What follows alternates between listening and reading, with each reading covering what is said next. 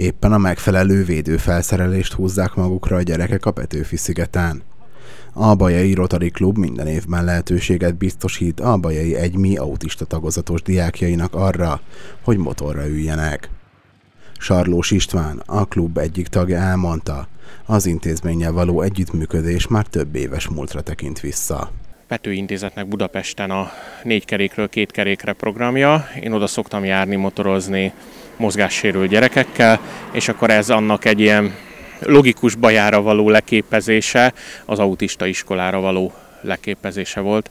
Azonnan akkor, hogy én ismertem az autista iskolából érintett szülőt is, tanárt is, és akkor földobtam nekik a lehetőséget. Hozzátette, rendszeresen szerveznek érzékenyítő foglalkozásokat, amely során a gyerekek felpróbálhatják a kiegészítőket, sisakokat és védőfelszereléseket.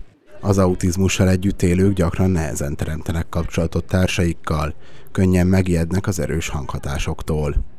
Ebben nyújthat segítséget a motorozás.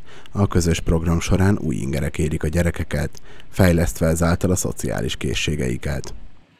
A részvevőket a hőség és a motorozáshoz szükséges öltözet sem tántorította vissza a szigetköröktől. Kivételesen jó volt, de most már ez a hatodik vagy az ötödik alkalom. Jó volt. Nagyon jó volt. A gyerekek a hét folyamán egy táborban is részt vesznek.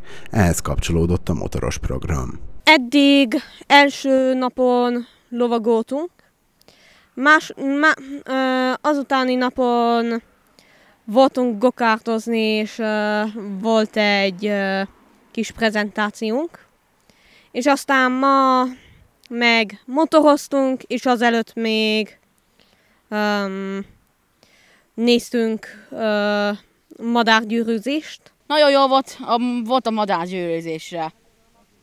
Aztán voltam a játszótéren, most indultunk a motorozásra. A Bajai Rotary Klub idén egyéb jótékonysági programokat is szervez fiatalok számára.